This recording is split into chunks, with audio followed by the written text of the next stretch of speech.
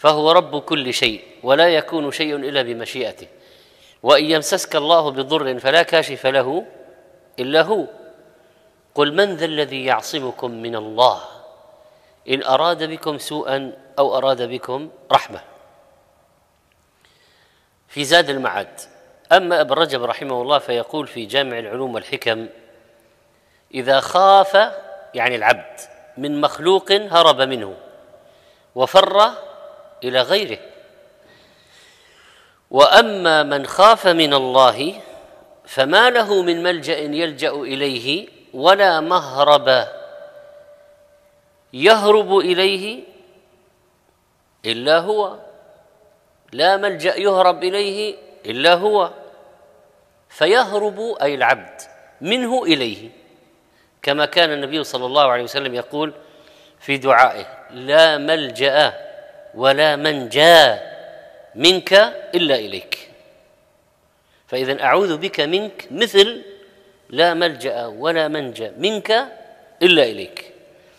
رواه البخاري ومسلم. انتهى. وقد دل هذا الحديث العظيم على أنه لا مفر إلا إلى الله ولا ملجأ منه إلا إليه. فأزمة الأمور كلها بيده. ونواصي العباد معقودة بقضائه وقدره. الأمر كله له والحمد كله له والملك كله له والخير كله في يديه. فمنه تعالى المنجى وإليه الملتجى. وبه الاستعاذة من شر ما هو كائن بمشيئته وقدرته. وهذا كله تحقيق للتوحيد والقدر وأنه تعالى لا رب غيره ولا خالق سواه ولا يملك المخلوق لنفسه ولا لغيره ضرا ولا نفعا ولا موتا ولا حياة ولا نشورا بل الأمر كله لله ليس لأحد سواه منه شيء.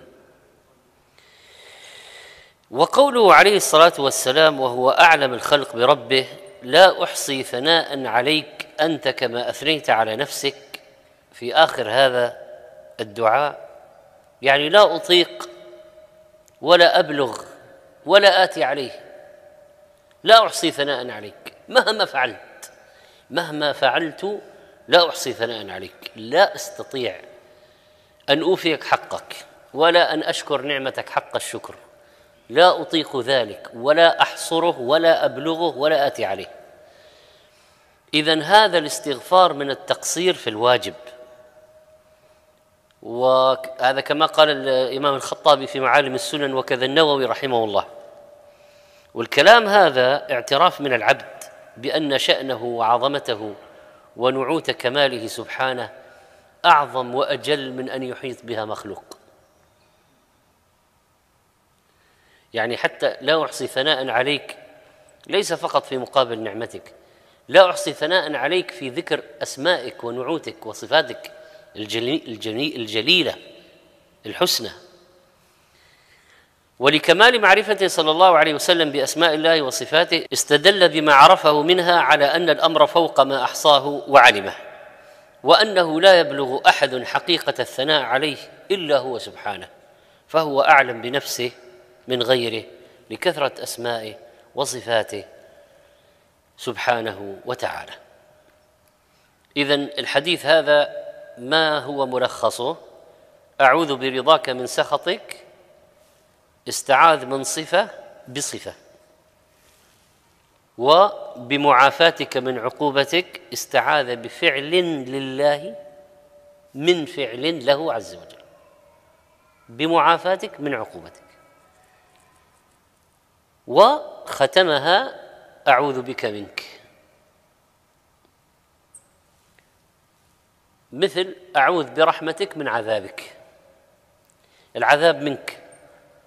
والرحمة رحمتك. وأعوذ برحمتك من عذابك. أعوذ بك